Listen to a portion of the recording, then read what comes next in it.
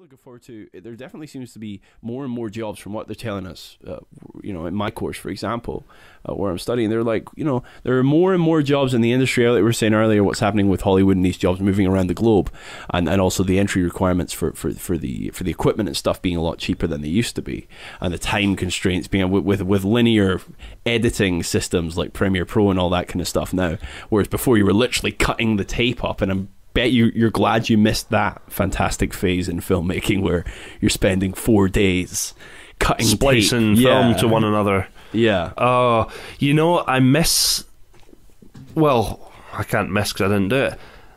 I'm sad that I didn't get to do it because I think it's a really important part of film history. yes, Uh, filming on celluloid and learning that process. It's it's it'll be a, it's a dying art. I wish that. I mean, now I just get instant results, and in a way, that almost removes how special. And actually, we we talked about a bit of a decline in filmmaking um, over the years in Hollywood. That is because it's so easy for them to make things now. When you were filming on film, every take cost money yeah, every take cost a lot of money, and if you messed up, you had to buy more film reel, and it was going to be longer for them to process it in the lab, and it it took so long and so much effort that these people made sure it was done right. Mm-hmm. They made sure that what they were making was important because they had to make their money back. These days, you at least at a lower level, you don't have that. and you can pull these creepy tricks with. I've I've heard about films where they spend more on the advertising campaign than they do on the film. And what they do is they they plaster it everywhere, and before everyone goes and realizes they should never have gone to see that film, they've made their money back. you know? And it's uh yeah, there's a lot of these creepy tricks that go on. It can be it can be done in a positive light as well. Daniel Day Lewis, My Left Foot, that was a low budget film, but his performance was so good that they spent so much money on the advertising campaign so that he could be recommended for an Oscar nomination. Right, yeah. So it can be it can be beneficial in a way for on other elements, maybe not making their money back.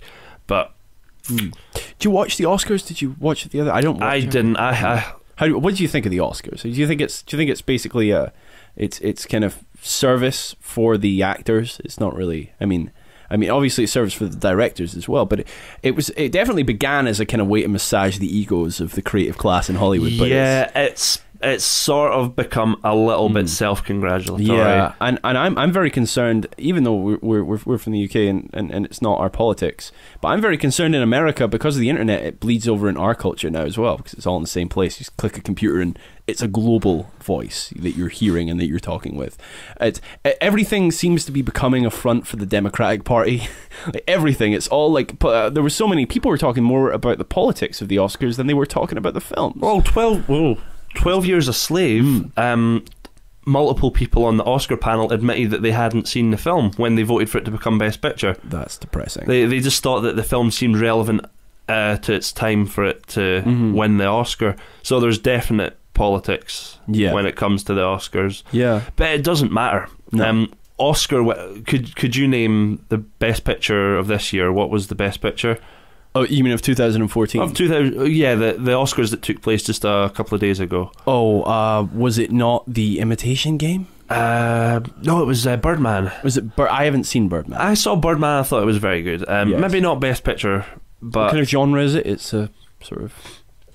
um, drama. Is it It- just? it's it's filmed in a way that the whole film looks like it was made in one long take, right. Okay. but it's not. It's made in about ten takes, but they've used clever editing. right. So, so the camera pans and it goes somewhere else. And Yeah, it'll show like um. M- Michael Keaton falling asleep. Then the camera pans to the sky, then down across the street. Then it's daytime again, and it goes back to I'm waking right. up. So there's never a cut between. There's never a movement. There's cut. never any movement in in in. The, And it was so wonderfully done, but um, there there were some el- elements of it that made me think, oh, maybe that was a bit too far. But it was a great film.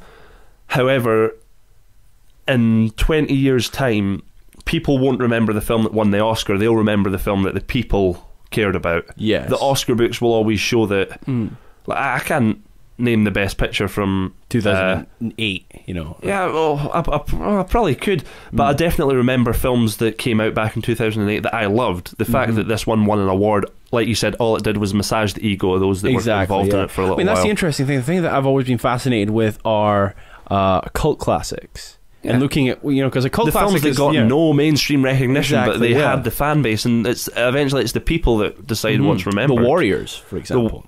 excellent film. Fact, one of my favorite films, uh, and I don't know if it's the fact that it's mostly shot at night, but there are so many scenes that anyone that's seen the Warriors, they only really need to have seen it once, but no one's ever seen the Warriors. I know some people. Like, you ever run across someone that, and it's a it's a classic thing. You everybody knows this person that hasn't seen Star Wars. They haven't seen, you know, and you, how could you have possibly lived your life? Up until this point, you don't need to have Wars. liked it, but how could you have missed it? Like it's it's our culture just puts it there. You, you how could you have not accidentally seen Star Wars? I worked in a petrol station, and a man that lives in Edinburgh, who was about 30 years old, had never seen nor even heard of Crocodile Dundee. really. I thought, you live in Edinburgh. It's Yeah. like, uh, well, not even, you live in Britain. Like, it's on ITV like, Yeah. every second day. You've Yeah. got Crocodile Dundee 2 showing. Exactly. Well, that's actually a question I wanted to ask you. Uh, speaking uh, Oh, of, of- there's a segue. of Edinburgh. ITV Edinburgh. well, no, no, it wasn't ITV Edinburgh. I wanted to STV Edinburgh. Oh, well, you'll there we go. Uh, it's like ITV, but it's specific, and this is also ties into what I want to talk about. Uh, Filth that came out uh, Mm. two years ago. Good film, I thought, for the most part. Um, also, Trainspotting, good film for the most part. Um, and and yeah, the list goes on. But do you think in Scotland there is a problem with um, prominent Scottish films that, that gained traction Absolutely. being being specifically about Scotland? There's never like a, a way to, to detach it and have it be about just being alive in Scotland, but there always has to be a very firm Scottish element to it. And you know, politics aside, I mean that's not it's not actually relevant. If every film that was made in London was specifically about London, what it's like to be from London, it wasn't just hey, it's set in London and we're just telling a story. Yeah. we just happen to be in London. The problem with Scotland is that they play that aspect up a little too often, and I think it it they make the it water, too. yeah. Um, They have they have to too gimmicky. accentuate the fact that it's Scottish. Yeah. and Too um, whiskey and You used Filth as an example, and another one that came out uh, was Sunshine on Leith, Mm. and they're both based off of other source material. Yeah, and, and I say filth partially novel. unfairly because filth, uh, yeah, it had an element of, but they always do that scene where we're walking through the street and Scotland. Yeah. The only, you know, it's like, oh, for fuck's sake, not this again. Like, I live here. Come on, don't tell me about the place where I live. Um, and And maybe they never do it in a positive light ever. I know. Scotland, where Yeah. people eat chippies, are overweight, Yeah. and they fuck each other. Yeah, it's it's always. And then there was the scene that is has been so over talk overly talked about from Trainspotting, where he's talking about how Scotland's crap. I mean, I'm like, I don't want to listen to this. Like, I don't need to agree or disagree with that. It's just like, why why does it need to be a component? Why can't you know someone will make a film in New York that's just about drug addicts in New York, but there's there has to be this tacked on a- aspect about identity, which. I can you can make a film about that where it's identity, sure, but if it's if the, the prominent films are all like that, there's a two dimensional aspect to it which I think harms Scottish cinema, and, and no more so than in the STV and the thing that we're talking about, where it's it's too local. It's it's or you're not you're using the locality to tell a story about the locality. You're not just using the, where you are to tell a story. If that makes any sense. Yeah, no, I'm. A I'm story that everyone to can agree relate with to. you there. I, Mm. I don't like. I, I don't like that. I have to agree with that, but I do. And it's not a statement about about last year in the end. It's not the Independence Game, all that other stuff. It's it's it's really not from from my perspective. Even as someone, I mean, I'm someone that voted no, but I care deeply about Scotland and and its pursuits culturally. I care deeply that that Scotland should rise to the full height that's demanded of it by its dignity. And I think it's undignifying for Scotland to to, to do that artistically or, or, or in terms of it, for in this example it's film industry to, to play up that aspect because it's it's belittling itself in a way Well, You know, look at. it's You, you mentioned New itself. York. Um, look at Ireland. yes Um, they made In Bruges Mhm. great. They made The Guard great. They made Calvary great. But it wasn't um, Ireland, the land where we eat potatoes Yeah. and take things out to sweet Yeah. press. It's, it's like and maybe that's just our thing but I mean even I mean even Serbia got, you know the Serbian film it doesn't really touch on Serbia as such it's just all the horrendous things that happen in Serbia I mean I suppose the Eastern Europeans are probably annoyed about that stereotype every film that's shot in Eastern Europe or is about Eastern Europe involves like torture porn like it seems to be not since anywhere east of Vienna ever since the third man it's all went downhill from there. It was all it's all crazy shit. You found the- Orson Welles yeah, Birdman, yeah. yeah. It's um, it's it's always like, what would it look like? I, I don't know how you feel about those films, the torture porn Saw, for example. Uh, I think they're fine. You think they're fine? I've often, I, I, I so I've always kind of been a little turned off by them because it seems to be like someone's making a film. They go, what would it look like if we just like ripped this guy's head off? And I'm like, I mean, it doesn't really. Doesn't really speak to me. It's just like, well, I, I don't want to know what that would look like. I'd, I'd prefer to go through my life Yeah. not seeing that either fictitiously or in a real sense. You know, There's there is a demographic for everything, though, isn't there? I mean, people will people enjoy that. I, I Did you ever enjoyed make a film like that? Um, no, I don't think I'd. I never say never. I don't think I'd want to, because the element that seems to get uh, notoriety is the torture thing. When you mention Saw, Saw's got a good story. It's got a good setting.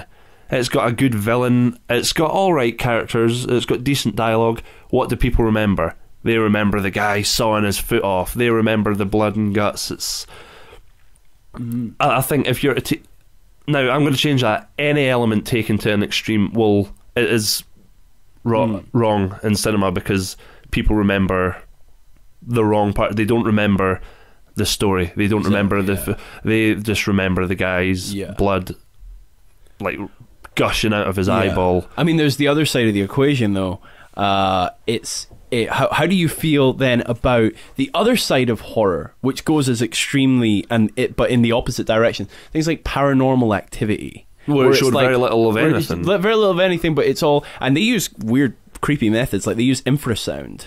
Do you know what infrasound is? When they have like basically uh, um, sound that you can't hear. You know what they call it, a subsonic. Oh, so you subconsciously think of something, and- and- yeah. but but not not that you subconsciously think of something. It's almost like a stress-inducing sound below the sound, um, and and so it's it's ultrasonic.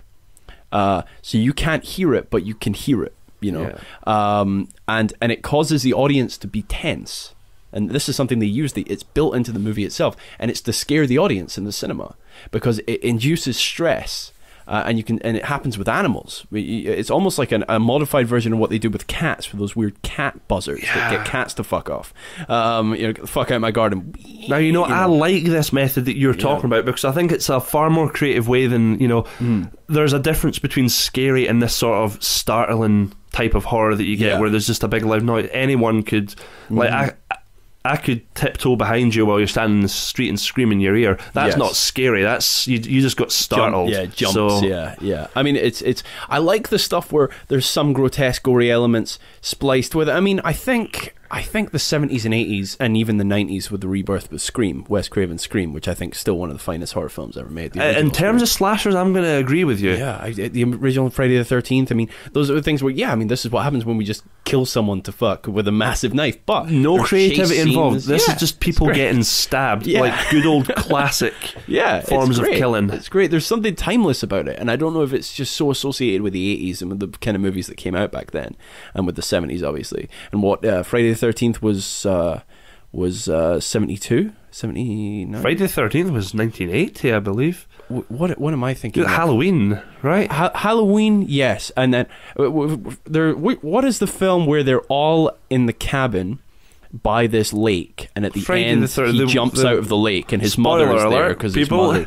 Yeah, That's uh, Friday the Thirteenth. Yeah. Mhm. I don't know about spoil. I, mean, I, I, again, it's one of those films you kind of have to have seen. I think it's Friday the Thirteenth. Yeah, my, my girlfriend, uh, it was Friday the 13th, and she really wanted to watch Friday the 13th, Yes. and we didn't watch Friday the 13th. you weren't in the you weren't in that place emotionally. no. Um, ah, it's, I, I kind of think it's not very good. At the time, it must have been great, but like, Mm. Yeah. back back then, but now. Yeah, all, even original ideas like comes full circle what we were talking about back at the, back at the beginning of the show. Even an original idea, if it doesn't s- s- uh, hold up to the to time, to, to stand the test of time, it can be devalued. However, Yeah. because it, there has to be an element. it- There's a minimum requirement that if it falls below this line of holding up to to the kind of the, the the sands of hit of time, the sand of history.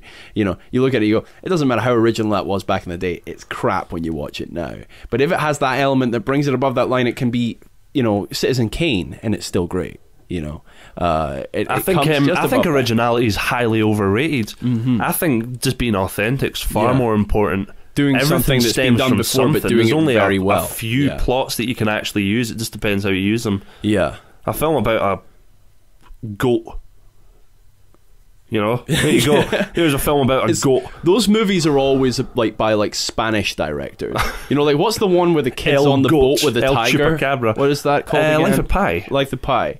I, I haven't seen it, but when I hear about those films, I go, oh, it's right, it's one of those films. It's probably good, but it's like, I mean, I don't know how well Slumdog Millionaire will hold up to the test of time. Because I remember that was one of those films that was much loved back in 2008. It won an Oscar. No, the, One of the best. Yeah, Yeah. it did. And- and- director Danny Boyle. Yeah, and the front front guy, the guy that was in Skins, uh, that was Uh, the, kid, Dev- the Dev Asian kid that was in yeah. Skins. Yeah, he he won.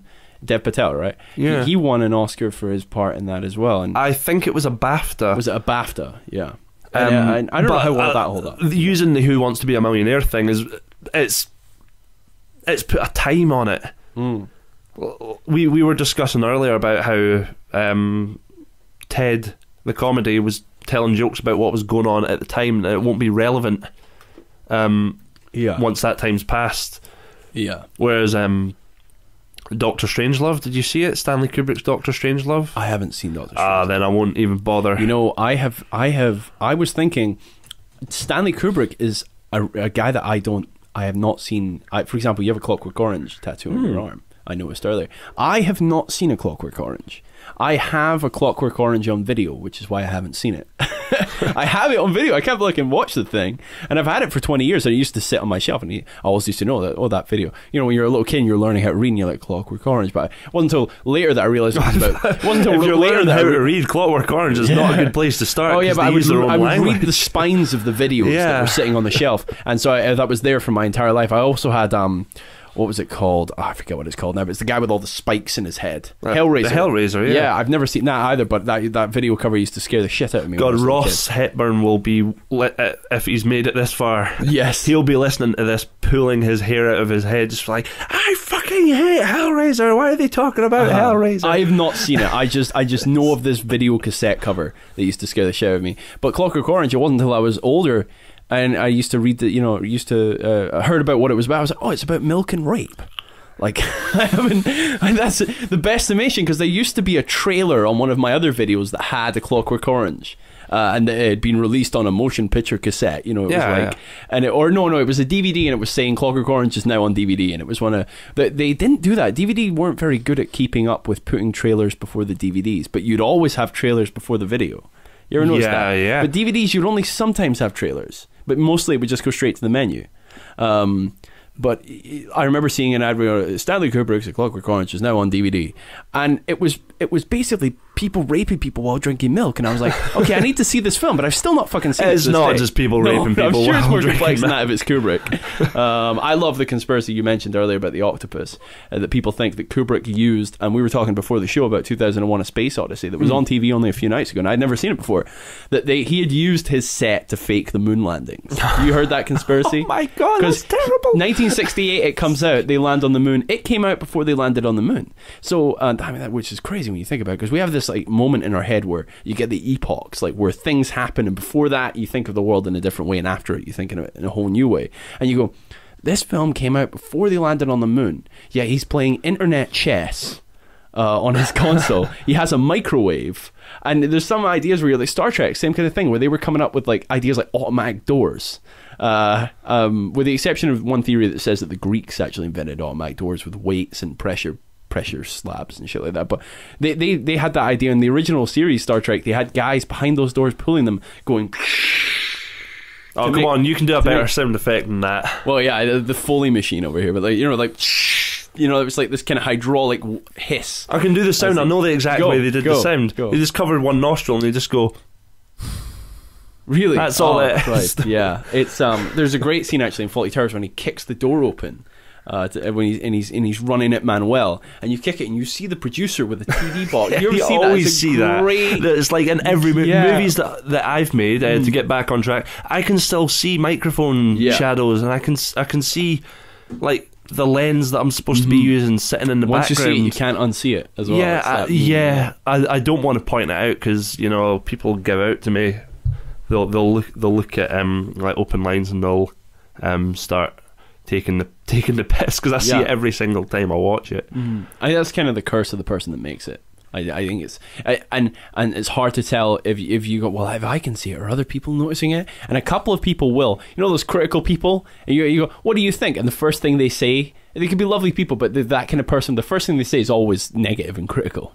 And they don't even mean it. They're just like you know uh, I have a friend uh, that, that's like that and and every time she does it I'm like oh god damn it Sam uh, it's like why did Oh, you, you just that? name dropped her now. No, She'll yeah, know what she you're doesn't. about. She doesn't mind. I was like, you know, it was like, why, why have you noticed that? I was hoping you wouldn't notice that, you know. But but she notices it anyway.